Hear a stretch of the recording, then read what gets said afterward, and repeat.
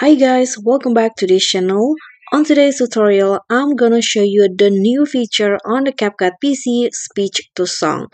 Then I'm going to show you the tutorial on how to use it. So here I've already imported the materials.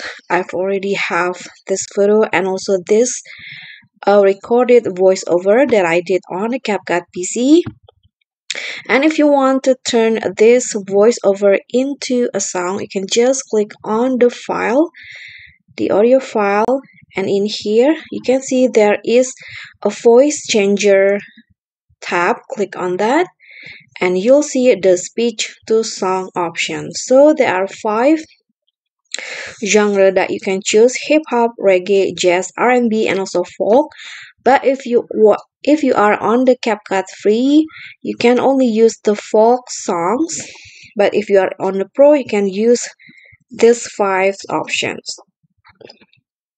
So here I'm going to try uh maybe R&B. So just click on the options and wait for CapCut to generate the sound.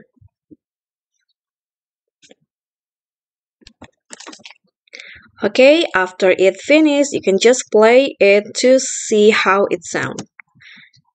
Hey guys, so this is how you can turn speech to song in CapCut PC. Okay, so that's it. You can just choose between this to try the speech to song feature on CapCut PC. Thank you so much for watching. Please don't forget to subscribe, click on like, leave a comment, and click on the thanks. Bye.